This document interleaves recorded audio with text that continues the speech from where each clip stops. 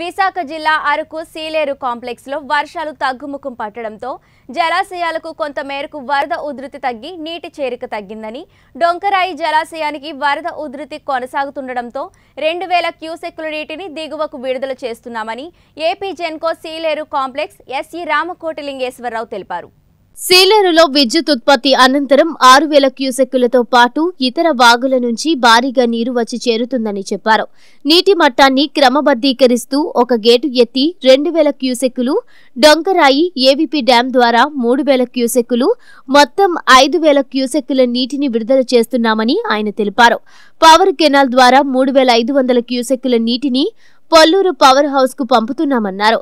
కాగా జోలాపుట్ జలాశయంలోకి పదివేల క్యూసెక్కులు ఇన్ఫ్లో ఉందని దీని పూర్తి స్థాయి నీటి మట్టం రెండు వేల ఏడు వందల యాభై అడుగుల దాకా చేరిందన్నారు.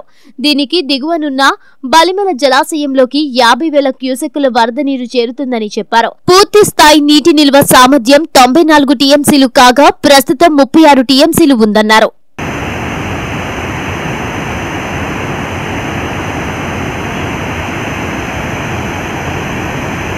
అది బండి చూడు.